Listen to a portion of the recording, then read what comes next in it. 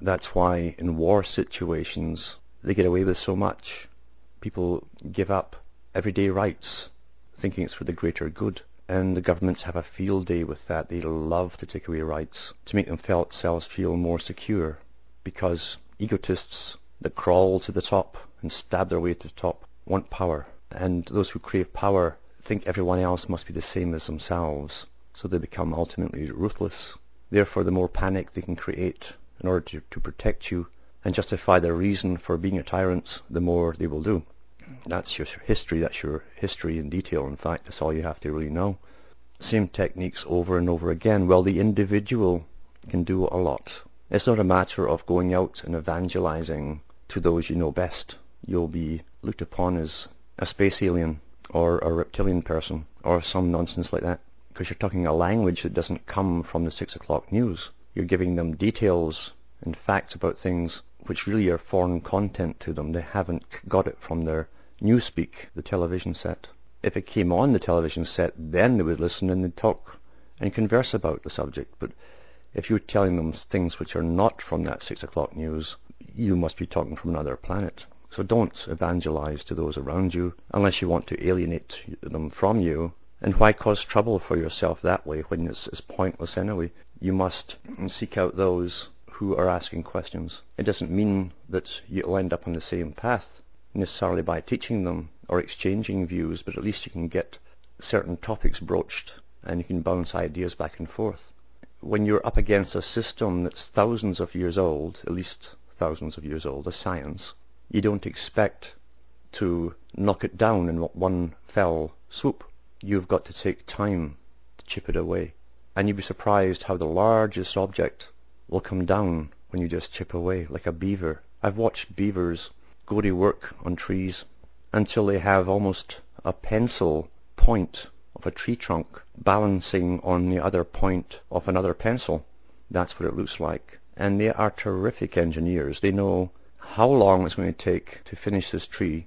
They know where they want it to fall, what direction they want it to fall, and when to get out of the way when it starts falling. They know all of that, and they have patience. Patience. And when you watch a beaver he does it on his own. He doesn't go around saying, gee, that's a huge tree. I better get a whole bunch of beaver here and we, we can all go at it. He starts his own chipping away. He doesn't look for confirmation. Am I doing a good job? He just knows he is. Because he's got patience. And this big monster of a tree will eventually fall. And it'll fall exactly where you wanted it to fall. And afterwards he doesn't look round for applause. He's done for what was for him a natural thing. The largest things can fall by the acts and the patience of someone who puts some life into what they're doing. When you realize there is a real war going on, very deceptive, well camouflaged, but you understand what it is, and you realize that everything else takes second or third place, then you start putting your life into something that's real and worthwhile. And just like the beaver, you don't look around for applause at the end of it. The reason there's information to be passed on is because people in past ages, few to be sure, but enough to pass on the information did so. And that's made all the difference in the world in a, a very specific way. The reason that deception is used today to control masses of people is because of the people who were awake in previous ages passing on knowledge. Otherwise, we'd all be chipped long ago, or lobotomized long ago completely lobotomized. It's only been the more cautious and devious way of governments, way of getting round that, that's led them to create such a system of massive propaganda and indoctrination through television and media and schooling. It wouldn't be necessary except for people who passed on knowledge and wisdom through countless centuries. The, the people who could point to the king and say he has no clothes and break the spell that held the masses. That's what it takes. But it takes life. And when you look at what people really are doing with themselves, they're doing what's authorized to be good citizens, upstanding, upright, all those Masonic terms, all those authorized things, and yet they're not alive, they're not living.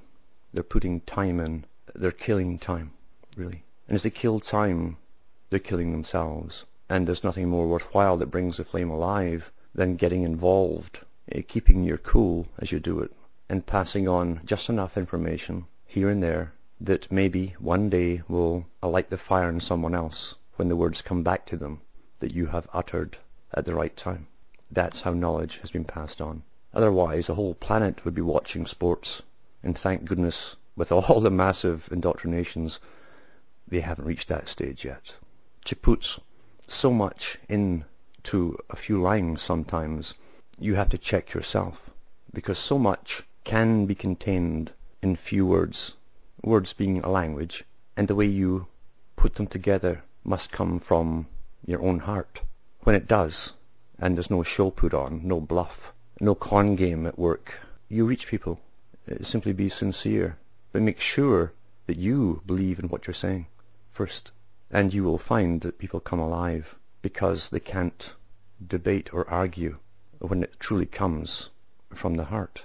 I think it was Heine who said, oh, aus meinem großen Schmerzen mach ich die kleinen Leider, which said, from my great sorrows I make small songs.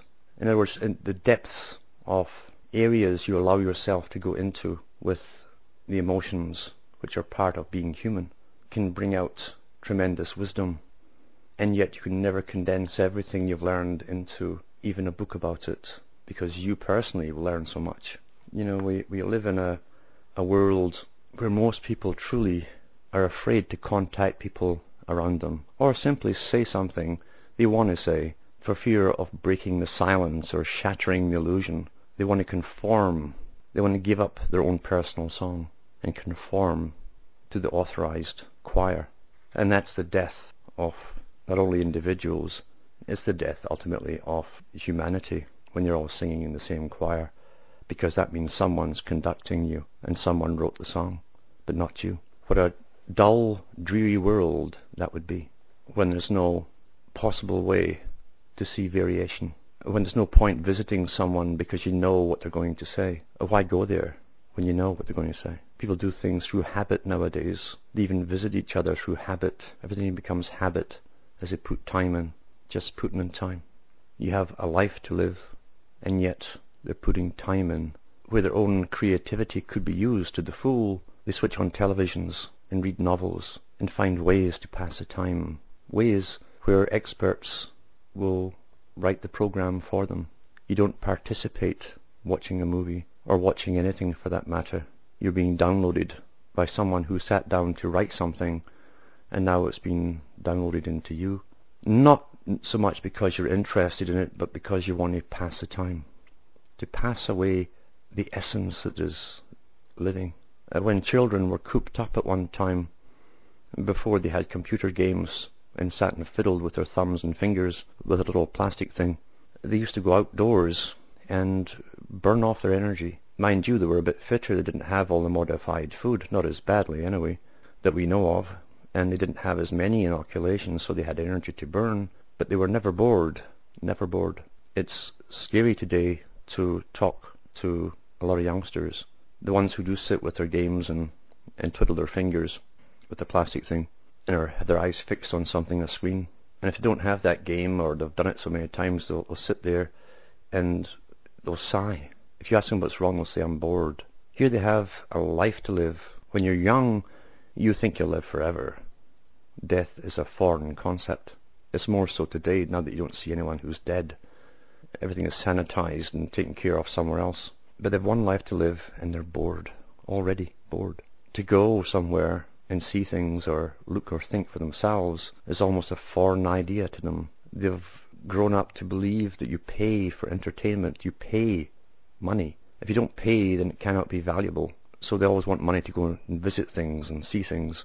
It would never occur to them to simply get out into the country and, and hike through a forest on their own. They're bored. Boredom. Their song, if it ever was there, is now quenched already. Because the song in a person is your fire. It's, it's the driving force within yourself.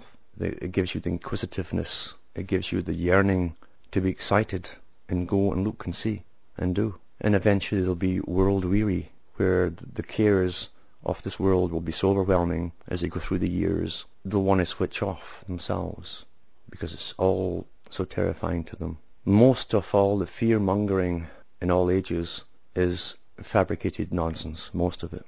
Not all of it, but most of it. And we cannot allow that to get us down until our fire is quenched. The fact today that there are people who are still awake can verbalize what's happening, cut through all the illusions, cut through all the propaganda, the counterintelligence that's put out there to make you drift off into space, chase lizards all over the place, follow gurus who wear funny clothes but look as if they know something and look terribly pious, and those ones who I call the card sharks, who give you futures from a piece of paper or a bunch of paper. People want predictions only when they're terrified of making their own life, because living is a chance. Everything in life is a chance, and only those who die internally do so because they won't take chances till eventually they'll be much older and they'll say it's too late for me to alter anything.